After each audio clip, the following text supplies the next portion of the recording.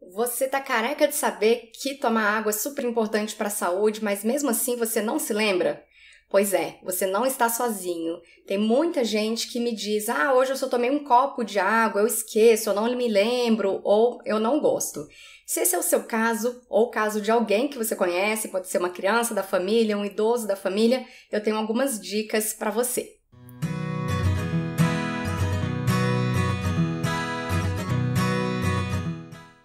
Nosso corpo é totalmente dependente de água. A gente precisa de água para eliminar toxinas, a gente precisa de água nos músculos para que eles possam se contrair e se você está malhando para que eles possam crescer.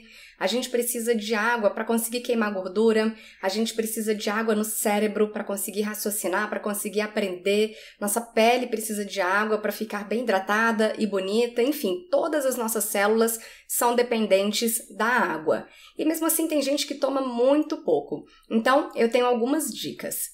Em primeiro lugar, vamos aprender quanto de água você precisa tomar por dia. Então você vai pegar o seu peso em quilos e multiplicar por 35.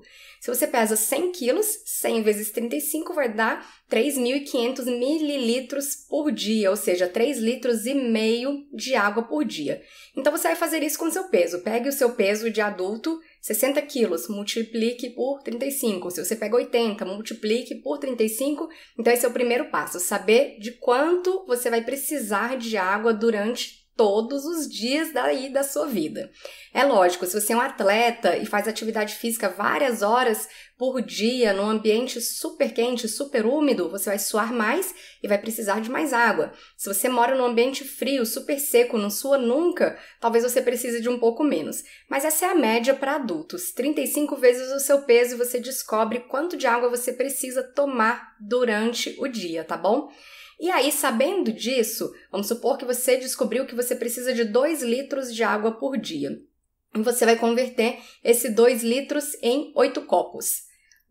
É um exemplo, tá? Então, se você não se lembra nunca de tomar esses oito copos, você vai pegar essas liguinhas de cabelo, oito liguinhas dessa, ou então aquelas liguinhas amarelas que você tem no trabalho, colocar no braço. E a cada copo que você tomar, você tira uma liguinha e coloca no copo, tá bom? Tomou outro copo de água, tira a segunda liguinha e coloca no copo.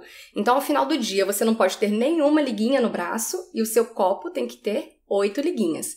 Se você não toma no copo, se você toma, por exemplo, numa garrafinha de 500 mililitros, você vai precisar tomar, nesse caso, dos 2 litros, quatro garrafinhas por dia. Então, você vai colocar quatro liguinhas no braço e a cada garrafinha que você tomar, você coloca lá.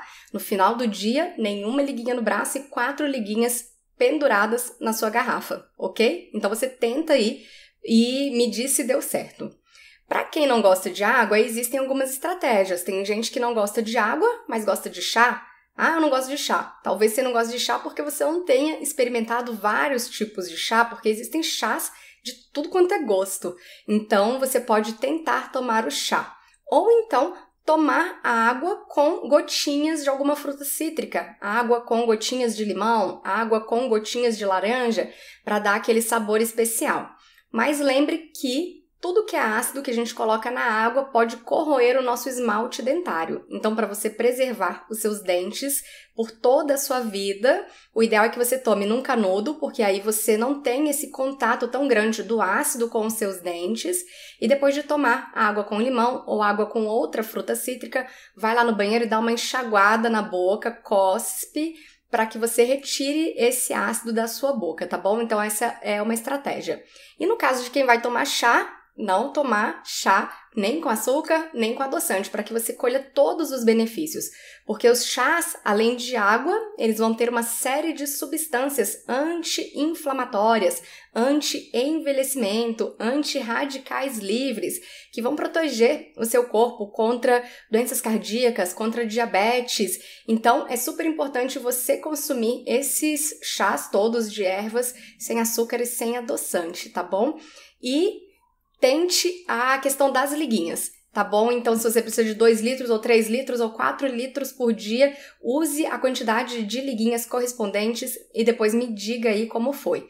E para quem quer saber mais sobre nutrição, entre lá no meu site andreatorres.com. Eu tenho um curso gratuito sobre nutrição básica para você aprender muito mais e também ficar mais tempo em contato comigo. Um grande abraço!